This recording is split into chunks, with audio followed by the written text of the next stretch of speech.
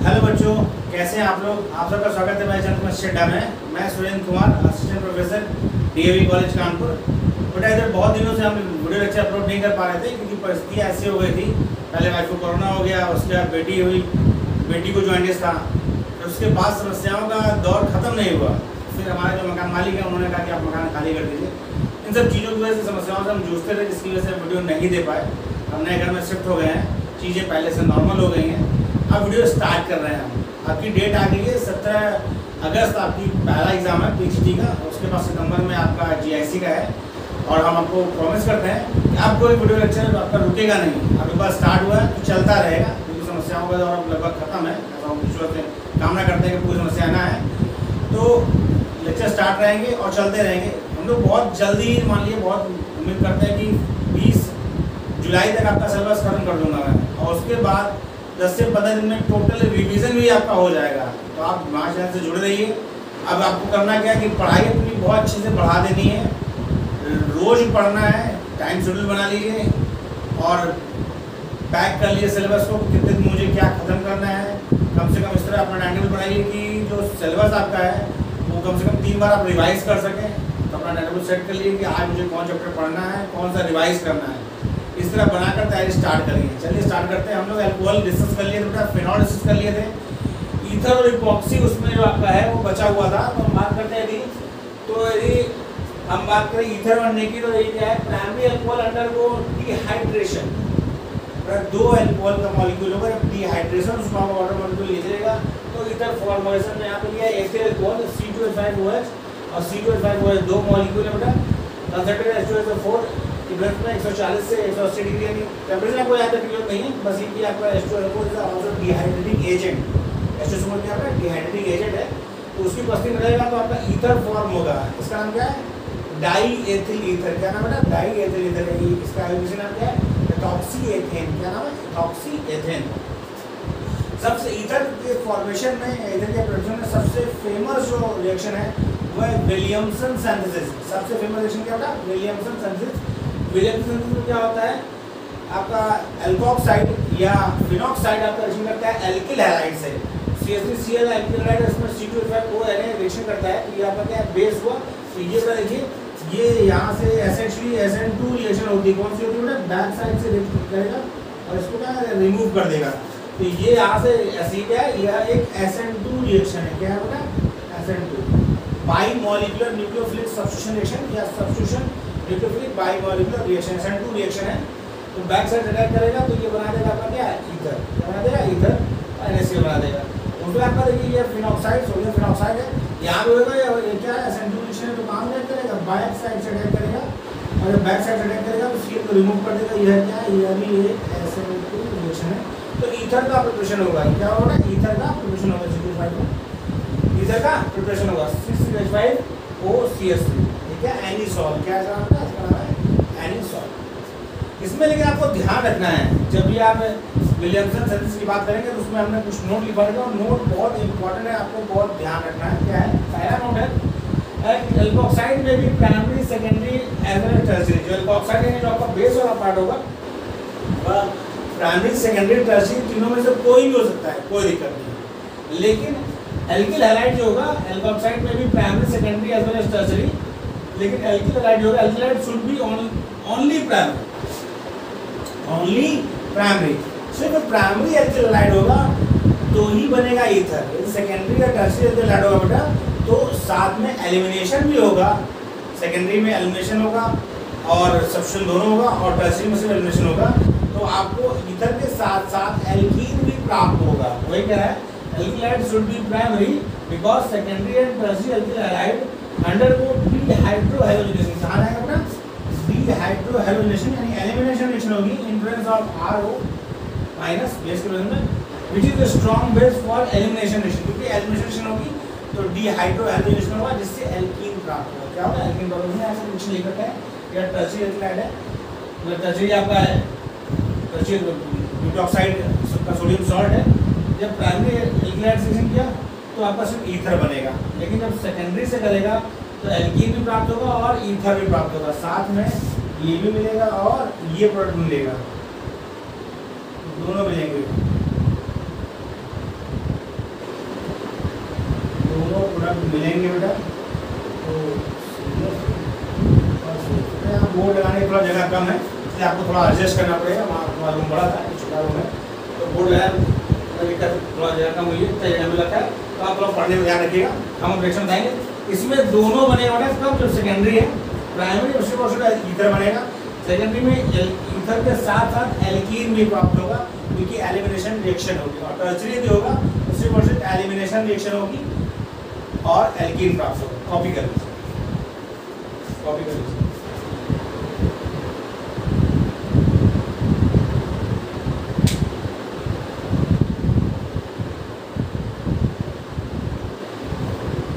बड़ा कॉपी कर लिया? साइड कॉपी कर लिया आपने?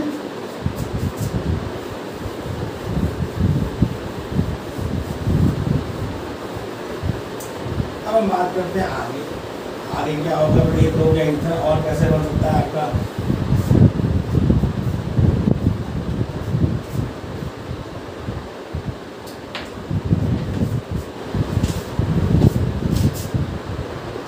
By heating by heating alkyl halide alkyl halide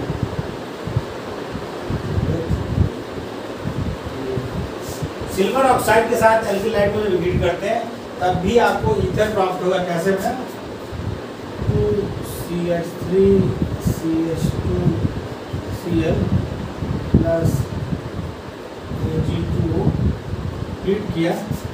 तो बनेगा C H three C H two O C H two C H three plus क्या किया सिल्वर ऑक्साइड के साथ यदि हीट करेंगे एल्किल हैलाइड को तो भी आपका ईथर फॉर्म होगा। तभी आपका ईथर फॉर्म होगा। यहाँ इधर हमने बात की थी। सब्स्टिट्यूशन रिएक्शन से यहाँ पर आपको रिएक्शन याद रखनी है। क्या करना बेटा रिएक्शन याद रखनी है। और बहुत इंपॉर्टेंट रिएक्शन ये टेम्परेचर डिपेंडेंट जो कई बार पूछी गई है, वो क्या होता C S three C S two देखिए इसमें क्या है? ये आपको ध्यान रखना है कि टेम्परेचर डिपेंडेंट रिएक्शन है। अलग अलग टेम्परेचर में पूछ लेता है तो उसमें आपको याद रखना है। Reaction H two S O four से ही हो रहा है। यदि temperature four forty three kelvin है फोर फोर्टी थ्री कैलविन है तो आपको मिलेगा एल्कीन क्योंकि तो तब हो गया क्या? तब हो गया आपका? एलिमिनेशन लेकिन टेम्परेचर यदि आपका चार सौ तेरह है, यानी लोअर टेम्परेचर पर है। ये हायर टेम्परेचर हुआ, ये एज कंपेयर लोअर टेम्परेचर हुआ। तो H two S O four की उपस्थिति में ही तब आपको मिलेगा क्या? C two H five O C two मतलब टेम्परेचर का ध्यान रखेंगे। यदि हायर टेम्परेचर है बेटा, आपका हायर टेम्परेचर है तो मिलेगा आपको क्या? एल्कीन और लोअर टेम्परेचर आपको मिलेगा ईथर बहुत इंपॉर्टेंट रिएक्शन है टेम्परेचर डिपेंडेंट रिएक्शन है तो आपको चीज़ ध्यान रखनी है कि आपको लोअर टेम्परेचर यदि है तो ईथर प्राप्त होगा और हायर टेम्परेचर है तो आपको एल्कीन प्राप्त होगा। क्योंकि आपको पता है एलिमिनेशन रिएक्शन इज़ इनिशिएटेड कि जो रेनफोर्स बाई या increase by increasing temperature temperature यदि ज़्यादा होगा तो एलिमिनेशन रिएक्शन होगी डोमिनेंट होगी। क्या होगी बेटा? डोमिनेंट होगी। तो हायर टेम्परेचर में एल्कीन बनेगा, जबकि as compare to lower temperature पर आपका ईथर फॉर्म होगा। तो आपको रिएक्शन याद रखनी है। क्या याद रखना है। इधर कॉपी कर लिया बेटा? हम बात करते हैं कुछ केमिकल प्रॉपर्टीज़ की। मतलब आप अपनी तैयारी एकदम तेज कर दें। जितना मैक्सिमम से मैक्सिमम टाइम आपको हो सके, आप पढ़ें रिवाइज करें और ज़्यादा से ज़्यादा समय किताबों और नोट्स के दें। आप बिल्कुल तैयारी में लग जाए। आपके पास समय आप बहुत ही लिमिटेड है। इतना ये नहीं कहूँगा समय कम है। समय पर्याप्त है। इतने समय में आप सिलेक्शन कर सकते हैं। बस क्योंकि आप शुरू से पढ़ते रहे तो आपके लिए बहुत सिलेबस हमारे वीडियो यदि देख रहे हैं। लगभग एटी परसेंट सिलेबस हमने खत्म कर दिया सिर्फ़ ट्वेंटी परसेंट सिलेबस बचा है। ट्वेंटी से भी कम मान लीजिए। तो वो हम खत्म कर देंगे बीस जुलाई तक। तो आप सिलेबस चिंता ना करें। तैयारी में जुटे रहें। हम बात करते हैं केमिकल प्रॉपर्टीज़ ठीक है रिएक्शन में हम इसमें इम्पोर्ट रखते हैं। केमिकल प्रॉपर्टीज़ केमिकल प्रॉपर्टीज़ की बात करते हैं केमिकल प्रॉपर्टीज़ ऑफ़ ईथर यह रिएक्शन भी ध्यान रखिए। जितनी रिएक्शन आपको मैं बताऊँगा, इसमें हर रिएक्शन इंपॉर्टेंट है। कोई भी ऐसी रिएक्शन नहीं दिखाई जा रही है जो इंपॉर्टेंट ना हो। यदि इसका एच आई से रिएक्शन है ईथर का एच आई से रिएक्शन कराने का जो रिएक्शन है बेटा एच आई रिएक्शन बहुत इंपॉर्टेंट है। इसमें थोड़ा कुछ ध्यान रखने की बात भी है। तो यहाँ तो कोई दिक्कत नहीं सिमेट्रिकल ईथर है। तो किसी से भी आप आयोडाइड बना दें और किसी से भी आप एल्कोहल बना दें। जब सिमेट्रिकल होगा, तब कहीं कोई दिक्कत नहीं है। ईथर की सिमेट्रिकल ईथर की रिएक्शन यदि आप एच से कराएँगे तो एक आयोडाइड बनेगा, दूसरा एल्कोहल दो बॉन्ड बनेगा। लेकिन उसके बाद ये आपको रिएक्शन ये वेरी वेरी इंपॉर्टेंट रिएक्शन है। ध्यान रखिए। क्या बेटा जब एनी सॉल का रिएक्शन कराते हैं आप।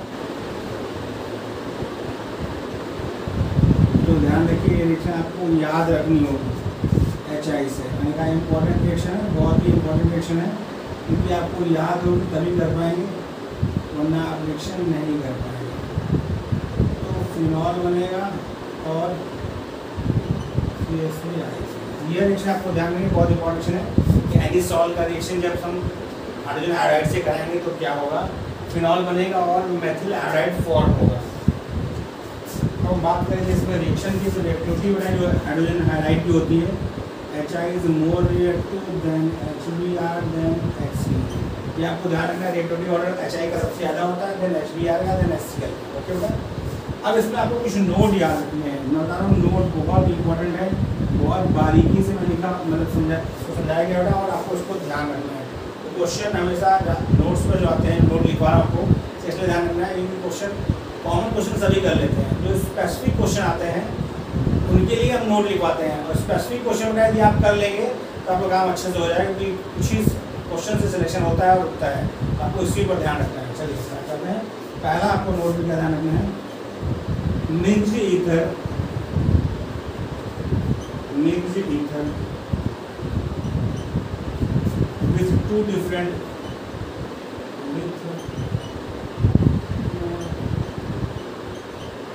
different alkyl group mixed ether with two different alkyl group यदि ऐसा है बेटा तो क्या होगा the alcohol alcohol and alkyl halide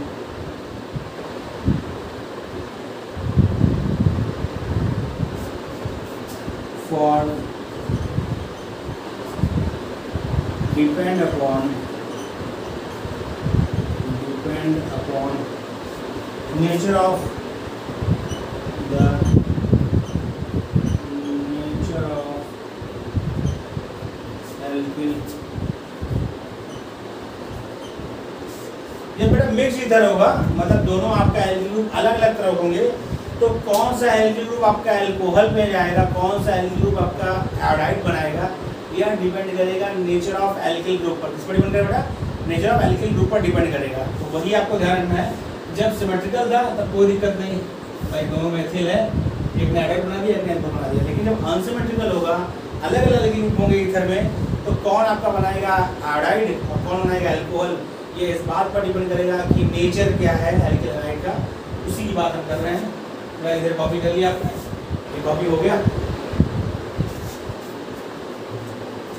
हम लोग बताएँगे कब, कैसे आपको इसे याद रखना है, इसकी बात करते हैं। आपको बहुत ध्यान रखना है इस चीज़ का। नोट का बहुत ध्यान रखना है बेटा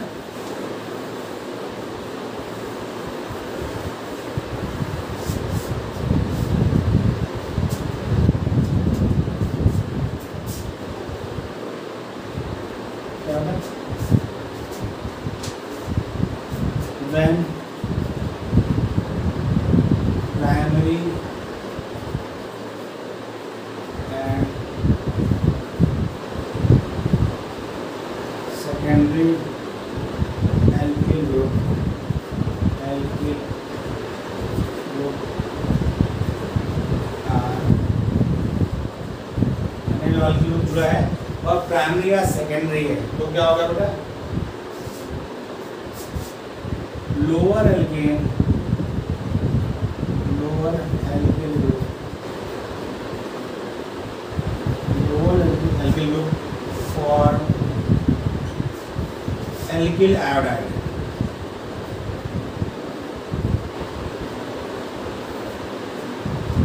primary और सेकेंडरी एल्किल ग्रुप जुड़ रखी है बेटा ईथर से। तो जो ऐसे केस में क्या होगा, जो लोअर एल्किल ग्रुप होगा, वह फॉर्म करेगा आपका क्या? वह फॉर्म करेगा आपका एल्किल एलाइड क्या फॉर्म होगा एल्किल आयोडाइड है एल्किल आयोडाइड और जो आपका हायर एल्केन होगा जो होगा वो फॉर्म करेगा एल्कोहल ये तो बात हो गई कब? जब आपका लोअर प्राइमरी और सेकेंडरी होगा। जैसे देखिए कॉपी कर लिया बेटा कॉपी हो गया?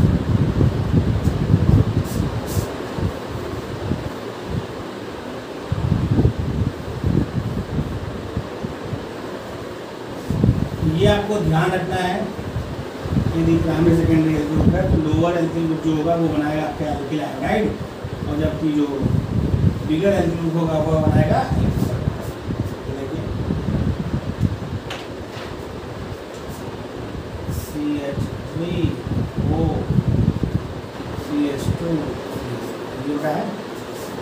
दो कार्बन का एल्किल ग्रुप है ये कार्बन का इसकी निश्चित आपने करा दी। एच आई से हाइड्रोजन से तो क्या बनेगा? लोअर कौन है? सी एस थ्री वाला लोअर पार्ट है। ये आयोडाइड फॉर्म करेगा और दूसरा वाला बड़ा पार्ट क्या फॉर्म करेगा? एल्कोहल सी टू फाइव जो है जो कार्बन का पार्ट है, वो एल्कोहल फॉर्म करेगा। और छोटा वाला पार्ट क्या है? आयोडाइड फॉर्म करेगा। यही आपको ध्यान रखना है कब होगा। जब आपका प्राइमरी और सेकेंडरी ग्रुप जुड़ा है, तब। लेकिन ये टर्सरी ग्रुप है। ये बहुत important point very very important point क्या है बेटा when one of the when one of the one of the alkyl group when one of the alkyl group when one of the alkyl group is a tertiary is a tertiary alkyl group. When one of the alkyl is a tertiary alkyl group, then the halide, then the halide form is uh, tertiary. बहुत important point यदि आपका ऐसा anchor है जिसमें एक tertiary group लगा है तो ध्यान रखिए आप कि जो हैलाइड फॉर्म होगा, वह हमेशा टर्चरी एल्किल ग्रुप के द्वारा बनाया जाएगा। यह बहुत इंपॉर्टेंट पॉइंट है। वही प्राइमरी सेकेंडरी यदि लगे हैं इधर के साइड में, कोई दिक्कत नहीं, छोटा वाला बनाएगा आयोडाइड और बड़ा वाला बनाएगा एल्कोहल लेकिन यदि एक टर्चरी ग्रुप लगा हुआ है तो टर्चरी वाला फॉर्म करेगा आपका लाइट यानी आयोडाइड और दूसरा जो बचेगा वो बनाएगा एल्कोहल यह पॉइंट बहुत इंपॉर्टेंट है, इसको आप ध्यान रखिए। ठीक है आगे बात करते हैं, इसमें एग्ज़ाम्पल लेते हैं। जैसे है आपका C S C C C S three C S three O इसका ना आपने एच आई से रिएक्शन तो ये टर्सरी पार्ट है, अभी प्राइमरी पार्ट है। तो यही पार्ट आपका बनाया क्या? आयोडाइड ये हो जाएगा आपका C S three C S three three I plus जो अल्कोहल में आएगा प्लस कॉपी कर। कॉपी कर लीजिए। इंपॉर्टेंट पॉइंट है, बहुत इंपॉर्टेंट पॉइंट को ध्यान रखना, इधर ध्यान कॉपी कर लीजिए, फिर आगे तो कॉपी कर लिया बेटा फिर कॉपी हो गया। अब बात करते हैं हम लोग। जो बेंजील ईथर है यानी एनिसॉल है, उसकी रिएक्शंस की बात करते हैं।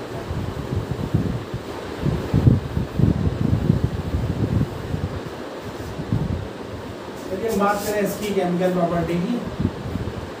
यानी बेंजील ईथर की बात की है, थोड़ा ध्यान दीजिए थोड़ा। ये आपका है। आपको पता है यहाँ पर एक की आइटम हुआ, इसके पास क्या होता है? लोन पेयर होता है। लोन पेयर होता है, यानी ओ सी एस लगा है। ओ सी एस में यहाँ ऑक्सीजन के तो बड़ा लोन पेयर है। तो रिंग में पेयर डिलोकलाइज होगा तो रिंग में इलेक्ट्रॉन डेंसिटी क्या करेगा? बढ़ाएगा। क्या करेगा? रिंग में इलेक्ट्रॉन डेंसिटी बढ़ाएगा। तो रिंग में इलेक्ट्रॉन डेंसिटी बढ़ाएगा, यानी यह जो ईथर है, वह उसमें इलेक्ट्रोफिलिक एरोमेटिक सब्सटीट्यूशन रिएक्शन क्या होगी? फास्टली होगी। यानी ये क्या है? एक्टिवेटिंग ग्रुप है। कौन सा ग्रुप है? एक्टिवेटिंग ग्रुप है। अब मुद्दा ये कि कौन सा डायटिंग होगा? पूरा जितने भी एक्टिवेटिंग ग्रुप होते हैं, वो क्या होते हैं? वो होते हैं ऑर्थोपैड एक्टिव कैसे? मैं बना के दिखाता हूँ। क्योंकि ये यहाँ से यहाँ गया। तो ये आपका क्या हो गया? बॉन्ड आपका इस जगह आ गया। डबल बॉन्ड है, उसका इलेक्ट्रॉन कहाँ आ गया? उस कार्बन पर आ गया।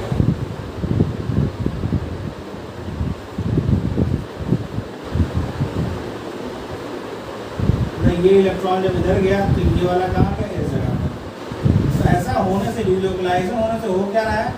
डिलोकलाइजेशन होने से हो ये रहा है बेटा। कि रिंग पर इलेक्ट्रॉन डेंसिटी क्या हो रही है? बढ़ रही है।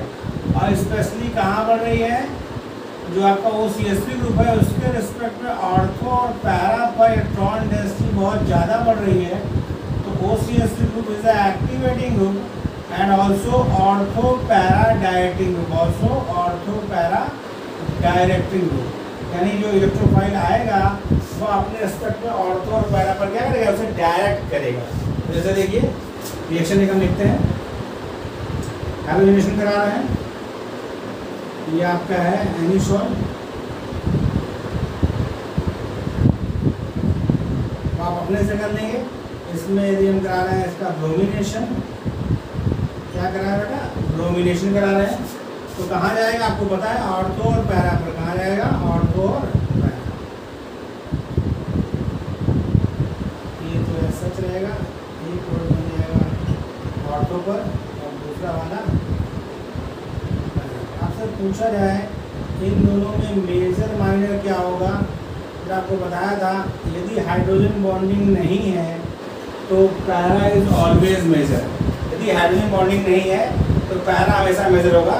और तो तभी मेजर होगा, जब हाइड्रोजन बॉन्डिंग पॉसिबल है। अदरवाइज़ ये है आपका मेजर क्या है? पैरा ब्रोमो ये क्या बेटा आपका ये है ये क्या है? ऑर्थो ब्रोमो ये है? ये माइनर है और ये मेजर है। क्यों मेजर माइनर है? क्योंकि यहाँ पर रिपल्सन कम होगा पैरा पोर्शन पर। इसीलिए यह ज़्यादा मात्रा में बनेगा। पैरा पोर्शन पर रिपल्सन कम होगा, इसलिए ज़्यादा मात्रा में बनेगा। इसका नाम क्या पैरा ब्रोमोएनिसॉल ये ऑर्थो ब्रोमोएनिसॉल यहाँ पर रिपल्सन ज़्यादा होगा, इसके बीच में इसलिए इसकी मात्रा कम होगी। तो आप ध्यान रखिए कि ऑर्थो आइसोमर तभी मेजर होंगे जब इंट्रा मोलिकुलर हाइड्रोजन बॉन्ड बनने की संभावना होगी। Otherwise para isomer is always major product copy कर लीजिए। कॉपी कर लीजिए। इधर कॉपी कर लिया बेटा। इधर कॉपी कर लिया अब हम बात करते हैं आगे रिएक्शंस की। क्या इलेक्शन रिएक्शन देखें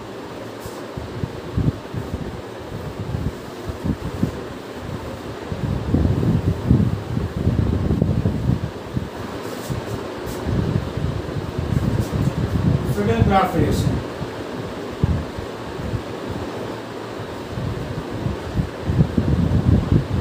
Friedel-Graf reaction. Friedel-Graf reaction.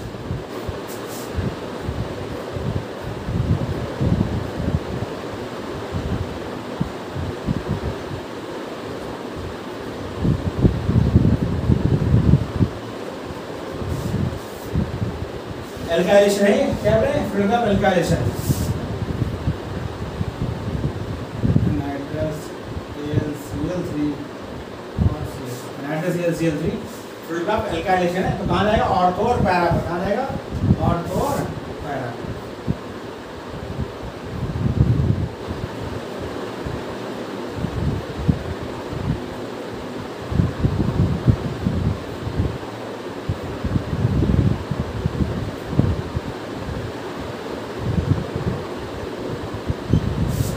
Understood है, ये वाला होगा मेजर ये वाला होगा, ठीक है? ये टू मिथॉक्सी क्या टू मिथॉक्सी टॉल्यूइन इसका नाम क्या है टू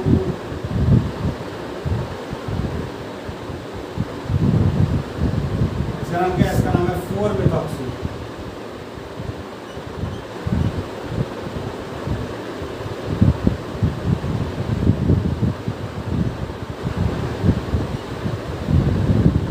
methoxytoluene four methoxytoluene क्या है?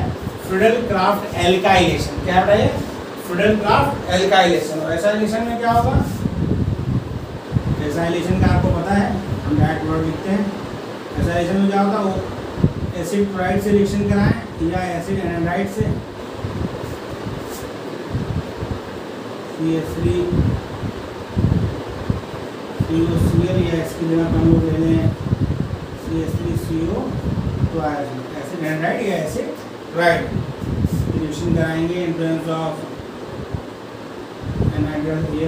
थ्री तो एसाइल ऑर्थो और पैरा पर यहाँ पे दो प्रोडक्ट बनते हैं कौन से बेटे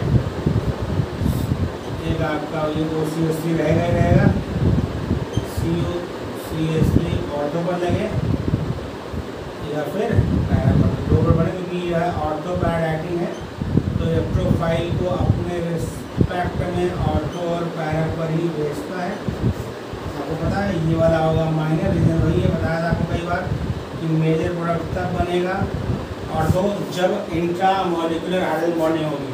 यदि intra molecular hydrogen bonding possible नहीं है तो कभी भी ऑटो मेजर प्रोडक्ट नहीं कॉपी करिए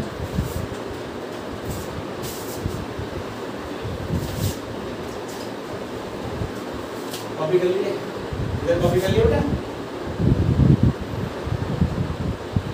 इधर कॉपी हो गया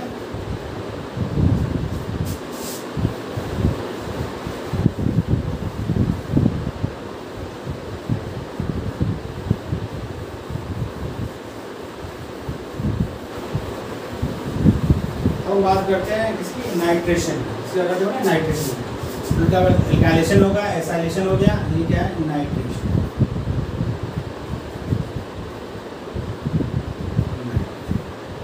नाइट्रेशन की बात की जाए तो आपको नहीं पता है आपको concentrate H two S four और कंसनट्रेट एच एन थ्री यदि यूज़ करते हैं तो क्या होगा? नाइट्रेशन होगा, क्योंकि यह एक ऑर्थो पैरा डायरेक्टिंग ग्रुप है। क्या है बेटा?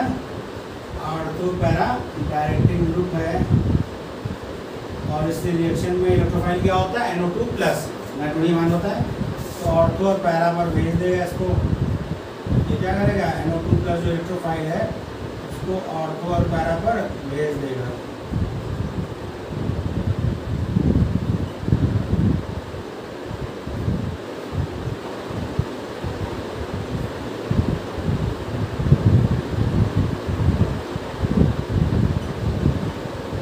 ये होगा मेजर अंडरस्टूड है ये वाला होगा कॉपी अब आता है मुद्दा दूसरा इपॉक्साइड का तो पर एसिड से एल्कीन की रिएक्शन यदि पर एसिड से कराते हैं इसमें बेटा कार्बन कार्बन डबल बॉन्ड पर यदि हम पर एसिड से कराएँ C F three C O H या इसकी जगह सी एस थ्री सी ओ पर एसिड से कराएँगे तो आपका बनेगा इपॉक्साइड क्या बनेगा? बहुत इंपॉर्टेंट है ईपॉक्साइड इंपॉर्टेंट होता नहीं होगा, लेकिन ईपॉक्साइड की रिएक्शन बहुत इंपॉर्टेंट है। ईपॉक्साइड की रिएक्शन बहुत इंपॉर्टेंट है, क्योंकि उसमें ध्यान रखना होता है। कि आपसे कुछ पूछा है अभी बताएँ आपको एसिड कहता है और बेस है? दोनों प्रोडक्ट अलग अलग होता है तो आपको इसका ध्यान रखना है। इपॉक्साइड के क्वेश्चन में आपको ध्यान रखना है कि एसिड रिएक्शन है कैटाइड रिएक्शन तो जब भी carbon carbon double bond reaction पर एसिड से कराई जाएगी तो एक आपका डबल बॉन्ड टूट जाएगा और ऑक्सीजन लगेगा। इसको बोलते हैं इपॉक्सी कंपाउंड क्या बोलते हैं इसको? इपॉक्सी कंपाउंड या इसको साइक्लिक ईथर है। क्या बोले साइक्लिक ईथर है। अब इसमें जो रिएक्शन इसकी है, जो इसकी, उसमें आपको ध्यान रखना है। एक आपका मैंने बताया कि एसिड कैटाइजेशन है बेस कैटाइजेशन है। पहचानी होगी ये कभी नहीं दिया है बड़ा एसिड कैटाइज है। जो उसमें रिएजेंट लिखे रहेंगे, उससे आपको पहचानना होगा कि यह एसिड कैटलाइज है बेस कैटलाइज है। इपॉक्सी का जब भी आपको रिएक्शन मिलेगा, आप थोड़ा ध्यान इस पर ज़्यादा देंगे कि रिएक्शन क्या एसिड कैटलाइज है या बेस कैटलाइज है। यही इंपॉर्टेंट है, इसलिए हमने सिर्फ़ इसको डिस्कस किया है। तो acid catalyse acid catalyse reaction of acid catalyzed reaction of epoxide epoxide की acid catalyzed reaction देखिए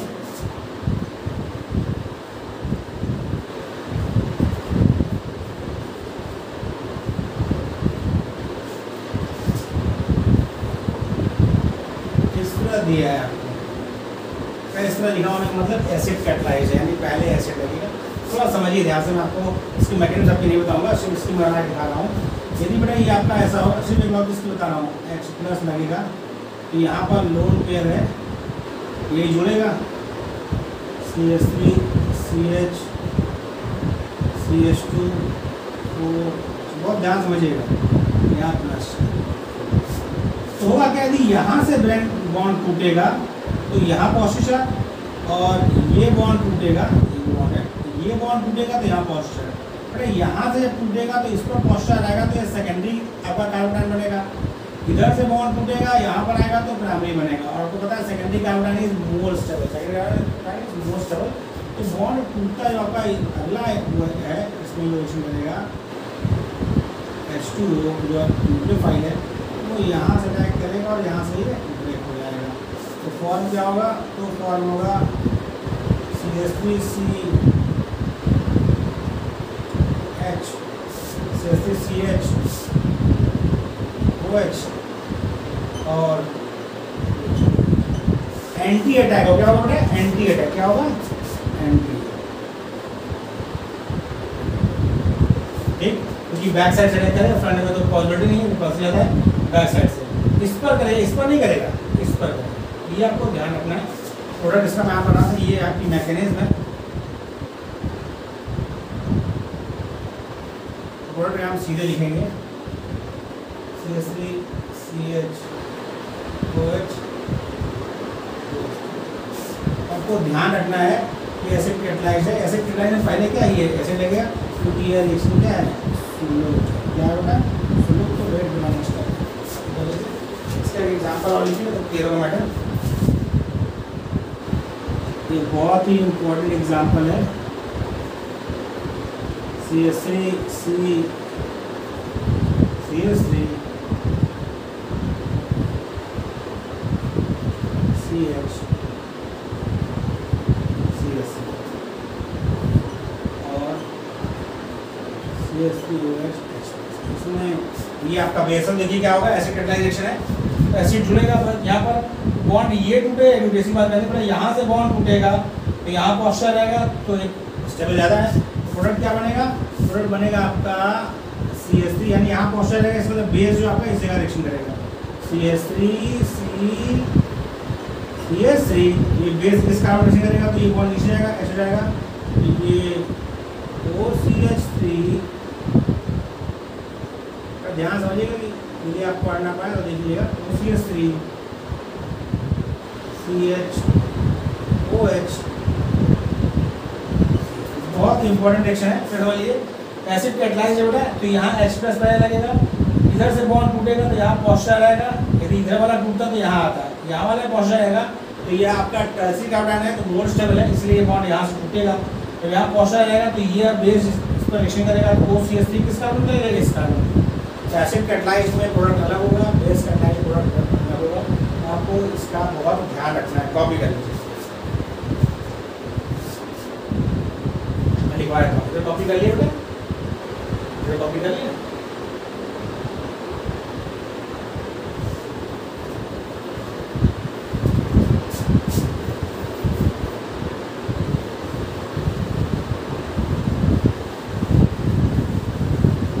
आपका ये लास्ट लेक्चर है, इसका एल्कोहल का, इसका हम लोग अगले लेक्चर से स्टार्ट करेंगे। कार्बोनिल कंपाउंड यानी एल्डिहाइड कीटोन इसमें नोट कुछ याद रखना है, यदि आपको याद रहेगा तो एसिड कैटलाइज में प्रोडक्ट डिसाइड करना इजी होगा। क्या होगा? In presence of in presence of acid of acid nucleophile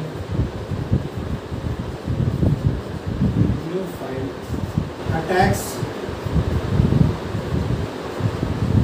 Attacks on more hindered carbon यह बहुत इंपॉर्टेंट पॉइंट है attacks on more hindered carbon तो एसिड कैटलाइज था तो हिंडेड कौन है? ये वाला और ये वाला, इन दोनों कौन ज़्यादा हिंडेड है? ये वाला है।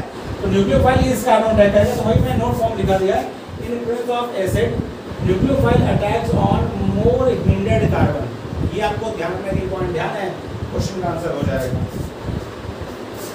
अगला पॉइंट क्या है? एच एंड न्यूक्लियोफाइल ये बहुत important O H nucleophile are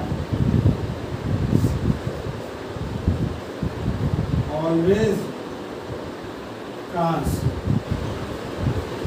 to each तो OH है इसका बनेगा और न्यूक्लियोफाइल से एंटी होंगे ट्रांस होंगे। यहाँ पे देखिए क्या है? बेटा यहाँ पर अपने इलेक्ट्रोफाइल न्यूक्लियोफाइल था OH था, दोनों OH के आपस में है। ट्रांस है एंटी है। यहाँ पर आपका OCH3 न्यूक्लियोफाइल था OCH3 और OH के आपस में ट्रांस या एंटी है। ये ध्यान रखना है एसिड कैटाइजेशन में न्यूक्लियोफाइल और ओएच होंगे, आपस में ट्रांस होंगे। और न्यूक्लियोफाइल हमेशा मोर हिंडेड कार्बन पर अटैक करेंगे। इतनी पॉइंट आपको ध्यान रखना है। अगला पॉइंट क्या है अगला पॉइंट इसमें है reaction is favoured by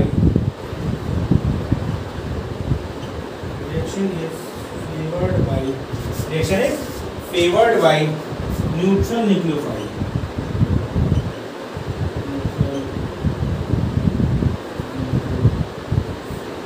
reaction is favored by neutral nucleophile. Copy कर लिए बेटा? फिर अगला लिखवा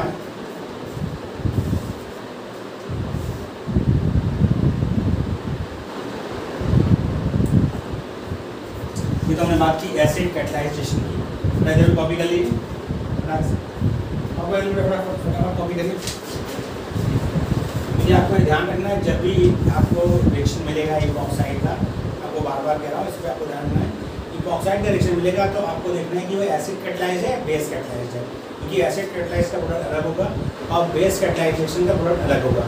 थोड़ा सा चूक होगी आंसर गलत आपको जाएगा, इसलिए ध्यान रखिएगा। कॉपी कर इससे तो हम बात करते हैं base catalyse reaction of epoxide base catalyse reaction of epoxide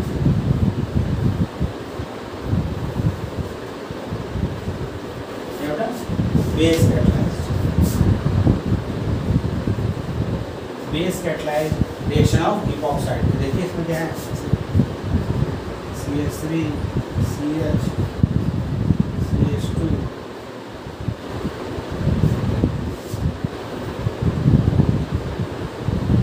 CH3O minus और ये दे रखा है तो ये हाइड्रोजन प्रोवाइडर है तो देखिए बेस कैटलाइज होगा तो ध्यान रखिए यह रिएक्शन हमेशा क्या होगी? SN2 होगी। ये आपको ध्यान रखना है SN2 होगी। तो आपको पता है SN2 रिएक्शन में न्यूक्लियोफाइल हमेशा कहाँ अटैक करता है? लेस हिंडेड साइड पर अटैक करता है। तो न्यूक्लियोफाइल जो आपका यहाँ पे अटैक न करके कहाँ अटैक करेगा? इस जगह अटैक करेगा। जब ये इस जगह अटैक करेगा तो ये बॉन्ड खुल जाएगा। तो ये क्या हो जाएगा बेटा? ये हो जाएगा आपका C S three C H O H C H two H जगह कम है बेटा। एंटी को चक्कर नहीं है। जगह कम है, इसलिए ऐसा लिख रहा है। यहाँ पर एंटी का कोई चक्कर नहीं है। अगला देखिए। C S three C S three C S two हमने यहाँ पर न्यूक्लियोफाइल बदल दिया है C S three C C minus plus देखिए इसमें क्या है बात वही है। यहाँ पे न्यूक्लियोफाइल कहाँ अटैक करेगा? लेस इंडेड साइड तो कहाँ अटैक करेगा बेटा न्यूक्लियोफाइल का? ये इसका अटैक करेगा। तो यहाँ से खुल जाएगा। प्रोडक्ट क्या बनेगा? प्रोडक्ट देखिए क्या बनेगा। प्रोडक्ट बनेगा C S three C S three O H C S two C triple bond C C S यह प्रोडक्ट फॉर्म है तो न्यूक्लियोफाइल हमेशा कहाँ अटैक करेगा लेस इंडेड साइड और जबकि यहाँ पर बेस कैटलाइजेशन में जबकि एसिड क्या है? कहाँ अटैक करेगा? मोर इंडेड साइड में। और बेस कैटलाइजेशन कहाँ कर रहा है? लेस इंडेड साइड में। यही आपको ध्यान रखना प्रोडक्ट क्या हो जाएगा? चेंज हो जाएगा। कॉपी कर लिया फिर कभी नोट लिखवा दें। तो कॉपी कर लिया बेटा।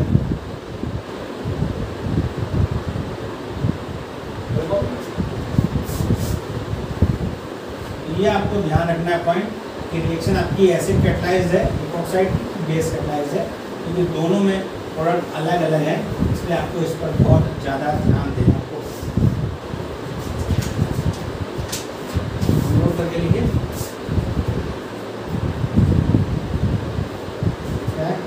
In presence presence of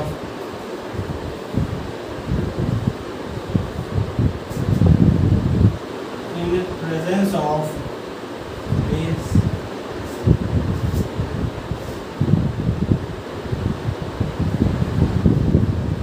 catalyst nucleophile nucleophile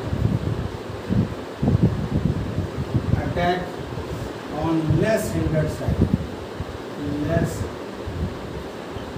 hindered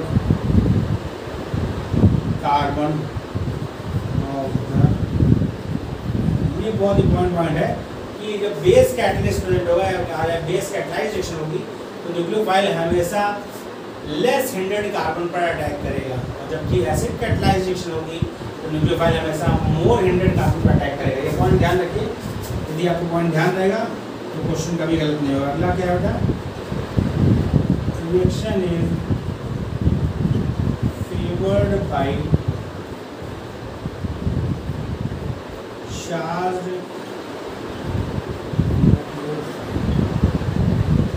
reaction charged nucleophile से फेवर्ड होती है, जबकि आपका जो एसिड कैटलाइजेशन था, वो क्या था?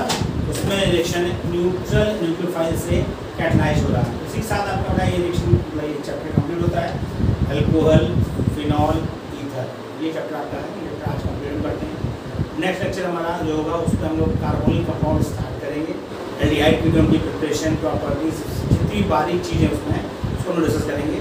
अब आप छूट जाइए पढ़ाई करने बेटा हम भी एकदम लग जाएँगे, हमारा कोई लेक्चर मिस नहीं होगा। पूरा लगातार हम आपको वीडियो लेक्चर देंगे क्योंकि अब समस्या नहीं है, हमने सेट कर लिया है। सामान भी लगभग सेट हो गया है। और वीडियो आपका एक दिन में दो वीडियो कम से कम अपलोड हम करेंगे। और धीरे धीरे आप अपना रिविजन चालू रखिए। हमारा सिलेबस बहुत थोड़ा बचा है पूरा दस से पंद्रह परसेंट बचा बाकी एटी फाइव परसेंट सिलेबस के वीडियो हमारे यूट्यूब चैनल पर अपलोडेड है। तो आप ये मत सोचिए सर का सिलेबस सर का सिलेबस तो पूरा हो ही जाएगा। वो तो मैं पंद्रह से बीस जुलाई तक पूरा कर ही दूँगा। लेकिन आपको कई बार रिवाइज करना है सिलेबस कई बार पूरा करना है, इसलिए अपनी पढ़ाई जारी रखिए और वीडियो इधर आपके आते रहेंगे, पीछे वाला बार बार रिविजन करते रहिए। जितना ज़्यादा रिवीजन करेंगे, आपको उतना ही अधिक फ़ायदा मिलेगा क्वेश्चंस की प्रैक्टिस करिए और रिविजन लगातार करते रहिए। वीडियो कैसा लगा? कमेंट बॉक्स में मैसेज करें, ज़्यादा लाइक और शेयर करें। Thank you